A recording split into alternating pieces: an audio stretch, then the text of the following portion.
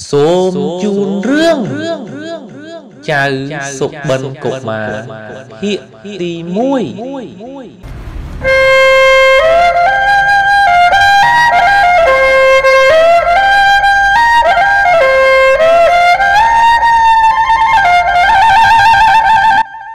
កាលពីដើមឡើយ មានព្រះមហាក្សត្រមួយអង្គព្រះនាមបរុណបៈគ្រប់គ្រងព្រះរាជសម្បត្តិ នៅនគរកោសំពីព្រះមហាក្សីព្រះនាមកេសរមាលាទេវីប៉ុន្តែព្រះអង្គនិងព្រះមហាសីគ្មានព្រះរាជបុត្រមួយអង្គសោះនៅក្នុងនគរនោះក៏មានប្តីប្រពន្ធពីរនាក់ដែលជាមហាសេដ្ឋីផងដែរក្រោយមកពួកគាត់ក៏កើតបានកូនប្រុសមួយ តែចម្លែកណាស់ ពេលដែលកូនប្រុសនោះកើតមកក្នុងថ្ងៃដំបូង គេញ៉ាំអាហារបានមួយវែកថ្ងៃទី2ញ៉ាំបានពីរវែករហូតដល់អាយុ1ខែ គេញ៉ាំអាហារដល់ទៅ30វែកទើបឆ្អែតសេដ្ឋីកំណាញ់នេះក៏កើតចិត្តព្រួយបារម្ភណាស់ព្រោះពួកគាត់ភ័យខ្លាចក្រលំបាកទៅថ្ងៃក្រោយទើបប្តីពិគ្រោះនឹងប្រពន្ធថា កូនយើងណាជាទារកចង្រៃអពមង្គលណាស់បើចិញ្ចឹមវាតទៅទៀតណាទ្រព្យសម្បត្តិយើងទាំងប្រមាណមុខជាវិនិច្ឆ័យហិនហោចអស់ហើយដោយសារវាមិនខានអញ្ចឹងយកវាទៅបោះចោលទៅកូនអើយគិតគ្នាហើយប្តីប្រពន្ធសេដ្ឋីទាំងពីរនាក់ក៏សម្រេចចិត្តបីកូនទៅដាក់ចោលនៅទីបច្ឆាទៅលុះដល់រំលងអាត្រៀត មានព្រះថេរៈមួយអង្គបានយល់សពឃើញចម្លែកថាមានកូនដំរីសមួយចូលមកក្នុងអារាម ហើយមានមហាជននិងអិសរជនហែហោមចោមរោមជាអណែកលុះព្រះថេរៈតើនឡើងពីសឹងក៏បាននិមន្តទៅទីបច្ឆា ស្រាប់តែឃើញទារកកំពុងស្រែកយំក៏បីទារកនោះទៅទុកនៅក្នុងកុដិ លុះពេលភ្លឺស្វាងហើយ លោកក៏និមន្តទៅទទួលចង្ហាន់បិណ្ឌបាតពីព្រះអង្គក្នុងរាជត្រកូលព្រះរាជាទ្រង់បានប្រគេនចង្ហាន់ដល់ប្រណិតដល់ព្រះថេរៈពេលនោះព្រះថេរៈក៏បានថ្វាយព្រះពរទូលថាបបិទ្ធមហារាជអាត្មាគឺរើសបានទីរួកម្នាក់នៅទីបច្ឆាតែមិនដឹងណាទេយកវាមកប្លង់ចោលនៅទីនេះ អាត្មាឃើញអាត្មាក៏អាណិតក៏រើសយកមកថ្វាយព្រះអង្គទៅព្រះអង្គ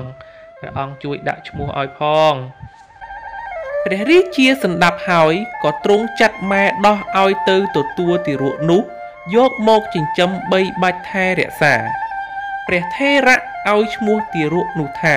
ចៅសុបិនកុមារលុះចៅសុបិនកុមារបានអាយុ7ឆ្នាំ ព្រះថេរៈ ក៏បានទទួលយកមកបំពោះជាសាមណេរបង្ហាត់បង្រៀនព្រះបរិយ័តដែលជាគោលសិក្សានៃព្រះពុទ្ធសាសនាមិនយូរប៉ុន្មានសាមណេរសុបិន មានប្រាជ្ញាឆ្លៀសវៃមានស្មារតីចងចាំនិងចេះដឹងក្នុងគម្ពីរព្រះត្រៃបិដកលុះសាមណេរមានព្រះជន្ម20វស្សា ព្រះថេរៈបានទូលព្រះរាជាថា សាមណេរសុបិននេះ គឺមានអាយុនិងឧបសម្ព័ន្ធបានហើយ សូមព្រះអង្គបរិជទានត្រៃជីវរនិងបរិខាផ្សេងផ្សេង ដើម្បីឧបសម្ព័ន្ធជាភិក្ខុសម្រាប់សាមណេរសុបិនផងព្រះអង្គព្រះរាជាទ្រង់ចាត់គ្រឿងសមណៈបរិខាសពគ្រប់ហើយទ្រង់ចាត់អាមាត្យឲ្យយកទៅប្រគេនព្រះថេរៈនាឯវត្តអារាម សុបិនសាមណេរក្រោយពីបានឧបសម្ព័ន្ធជាភិក្ខុភាវៈក្នុងព្រះពុទ្ធសាសនាហើយក៏មានកិត្តិនាមល្បីថា លោកជាអ្នកទ្រទ្រង់ព្រះត្រៃបិដកជាធម្មកថាស្ទាត់ជំនាញក្នុងការបកស្រាយធម៌វិន័យបានយ៉ាងក្បោះក្បាយល្អណាស់ហើយលោកតែងតែនិមន្តទៅទទួលចង្ហាន់បិណ្ឌបាត ក្នុងរាជត្រកូលឯព្រះរាជវាំងជានិច្ច លោកឧបសម្ព័ន្ធបាន5វស្សា នៅរាត្រីមួយសុបិនភិក្ខុបានសុបិននិមិត្តយ៉ាងចម្លែកណាស់គឺសុបិនឃើញថាខ្លួនបានស្ថិតនៅលើកំពូលភ្នំហេមពៀនហើយបានចាប់មណ្ឌលព្រះអាទិត្យដាក់នៅលើព្រះហស្ថស្ដាំ ហើយនឹងចាប់មណ្ឌលព្រះច័ន្ទដាក់នៅលើព្រះហស្ថឆ្វេង ពេលនោះគឺមានមហាជនជាច្រើននាំគ្នាចូលមកកកកុញធ្វើសក្ការៈបូជាដល់លោកក្រាបសំពះដោយក្តីគោរពដល់ពេលភ្លឺស្វាងសុបិនភិក្ខុតើនឡើង បានធ្វើកិច្ចដល់ឧបជាយាត្យានៅដំណើររឿងយល់សពដែលលោកបានឃើញក្នុងរាត្រីនោះ លោកគ្រូអាចារ្យពិចារណាថាហឹមយល់សពបែបនេះ ប្រកាសណាស់គឺសុបិនភិក្ខុនេះប្រកាសជាបានឡើងគ្រងរាជជាស្ដេចឯករាជ្យប្រកបដោយឫទ្ធីជាស្ដាបារមីល្បីខ្ជាប់ខ្ចាយជាមិនខានឡើយព្រះរាជាទទួលដំណឹងនេះហើយក៏បញ្ជាឲ្យហោរាចូលគាល់ត្រាស់សួរអំពីសុបិននិមិត្តនេះហោរាបានថ្វាយទំនាយថាសូមទ្រង់មេត្តាប្រោសសុបិនភិក្ខុនោះតទៅនឹងមានឫទ្ធិល្បីល្បាញហើយបានគ្រងរាជជាស្ដេចឯករាជ្យជាមិនខាន ព្រះរាជាទ្រង់ព្រះសម្ដាប់ដូច្នេះហើយទ្រង់គិតក្នុងព្រះទ័យថា សុបិនភិក្ខុមុខជាដណ្ដើមរាជបល្ល័ង្កអញមិនខាន បើដូច្នោះអញគួរតែចាត់ការវាជាមុនគិតហើយព្រះអង្គក៏ទ្រង់បញ្ជាអាមាត្យឲ្យទៅចាប់សុបិនភិក្ខុផ្សឹកចេញឃុំខ្លួនទុកក្នុងគុកតែម្ដង ថ្ងៃមួយព្រះរាជាចេញទៅក្រសាតាមដងទន្លេជាមួយនឹងស្រីស្នំព្រមទាំងអាមាត្យសពមុខមន្ត្រី ដោយហុំព័ទ្ធទន្លេនិងសំណាញ់ក្នុងទឹកទើបស្ដេចចុះក្រសាជាមួយនឹងស្រីស្នំទាំងឡាយក្រោយពីស្ដេចឡើងមកវិញពួកព្រានក៏ប្រមូលសំណាញ់ចេញ ស្រាប់តែជាប់នឹងកម្រងផ្កាមួយ ហើយក៏បានយកទៅថ្វាយស្ដេចស្ដេចដេញដោលសួររកម្ចាស់កម្រងផ្កានេះ តែគ្មាននរណាម្នាក់ដឹងឡើយទើបទ្រង់មានព្រះតម្រេះយល់ឃើញថាកម្រងផ្កានេះប្រហែលជារបស់នារីដែលមានបុណ្យវាសនាខ្ពង់ខ្ពស់ហើយ បានជារចនាភួងមេលាដ៏វិសេសដូច្នោះពេលនោះស្ដេចក៏ទ្រង់ចាត់ឲ្យអាមាត្យនិងពួកថ្មើរព្រៃឲ្យចេញទៅរកស្រុកទេសផ្នែកខាងលើទន្លេ ហើយស៊ើបសួររកនារី បញ្ជាក់ពិធាកល្យាណីដើម្បីតំណែងជាព្រះមហាក្សីរបស់ព្រះអង្គអាមាត្យនិងពួកថ្មើរព្រៃនាំគ្នាត្រាច់រង្គត់ឡើងតាមដងទន្លេទៅអស់កាលយូរអង្វែងឥតបានជួបប្រទះនឹងស្រុកណាមួយឡើយប៉ុន្តែពួកគេក៏បានទៅដល់លំនៅនៃស្ដេចស្វាសដែលស្នាក់អាស្រ័យនៅលើដើមស្វាយ ក្បែរមាត់ទន្លេជាមួយនឹងបរិវារស្វារាប់មិនអស់ស្ដេចស្វាសឃើញជនទាំងនោះមកឈប់នៅក្បែរគល់ស្វាយក៏សួរថា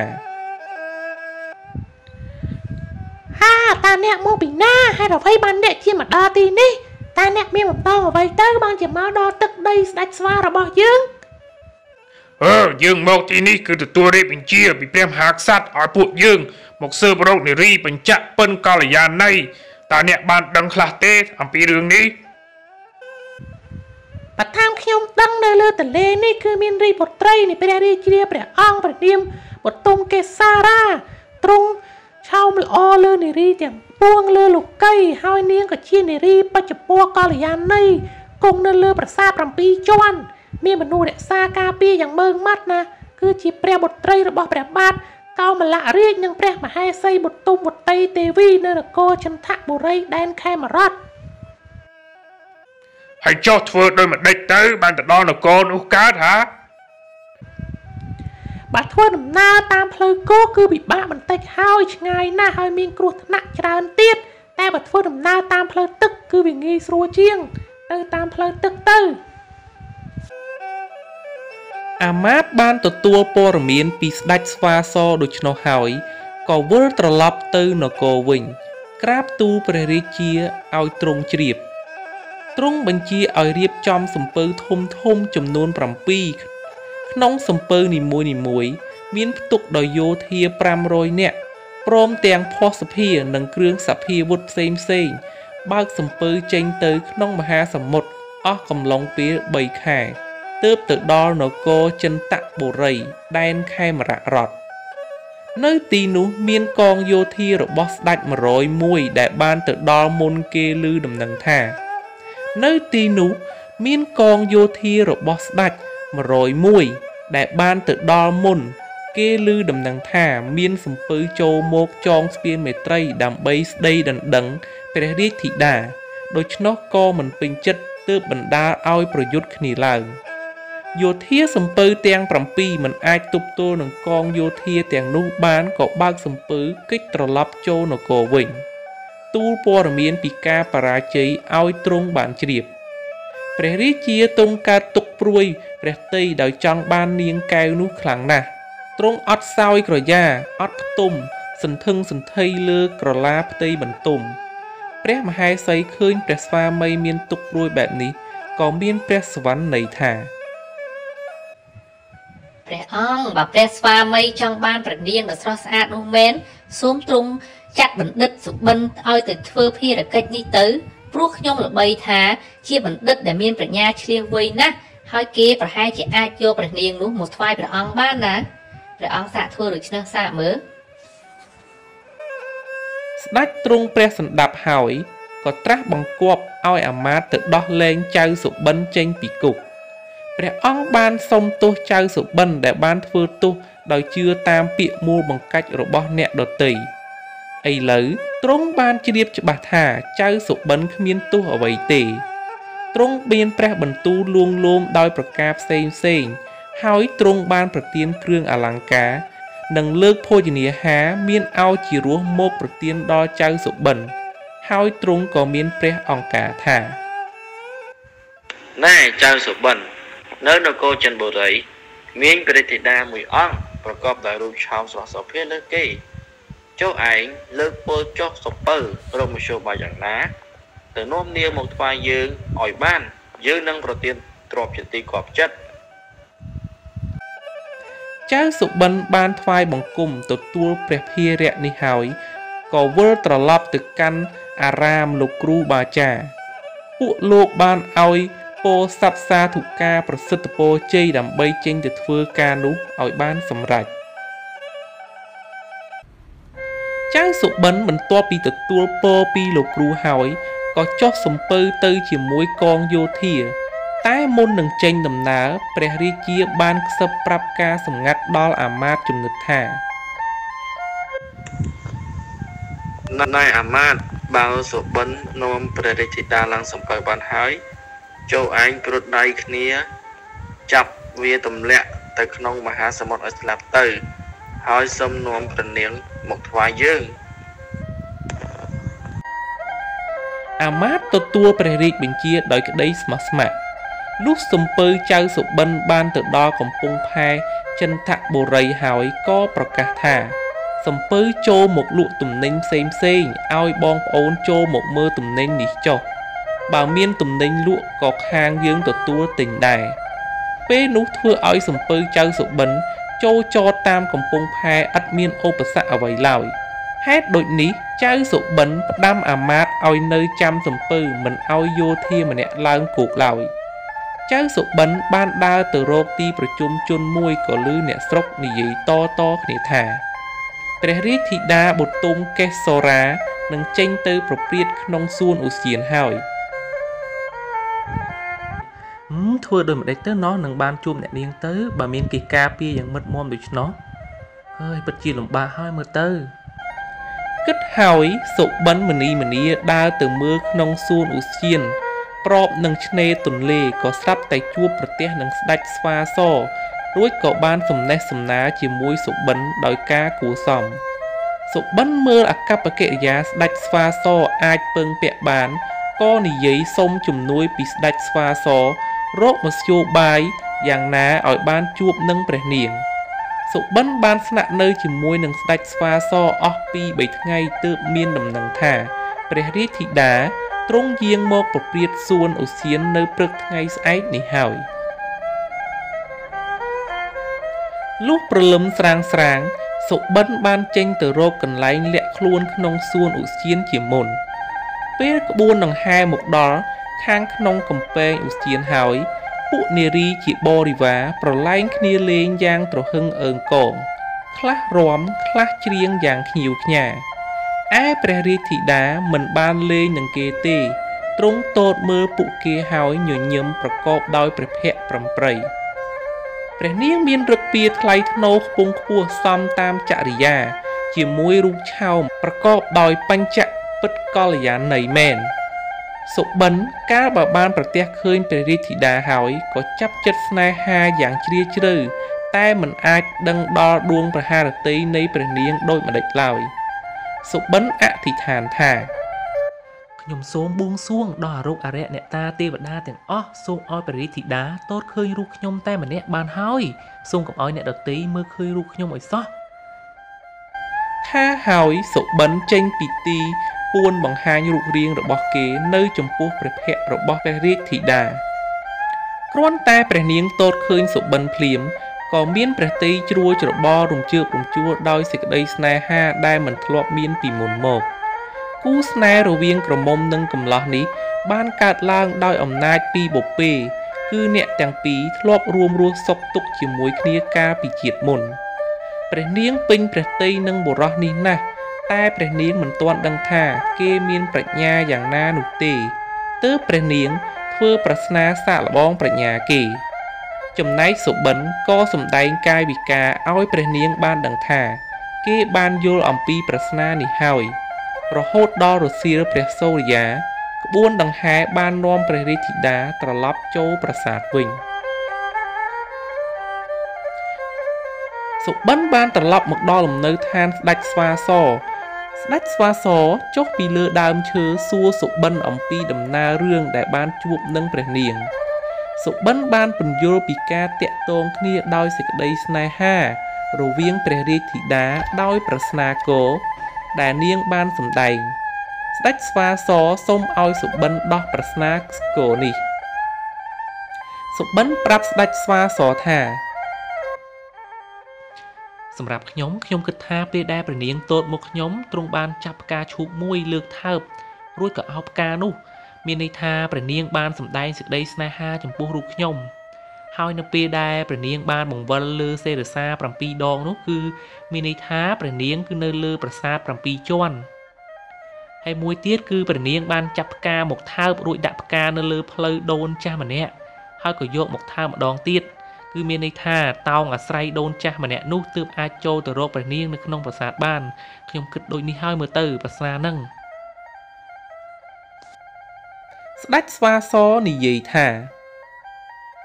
អូប្រហែលជាយ៉ាងហ្នឹងមែនហើយចូលអ្នកទៅរកព្រះនាងនោះចុះបើមានឧបសគ្គយ៉ាងណាចូលអ្នកផ្ដល់ដំណឹងមកឲ្យខ្ញុំផងខ្ញុំនឹងជួយឧបត្ថម្ភដល់អ្នកនឹងតាមការពារជួយអ្នកតាមដែលអាចធ្វើបានណា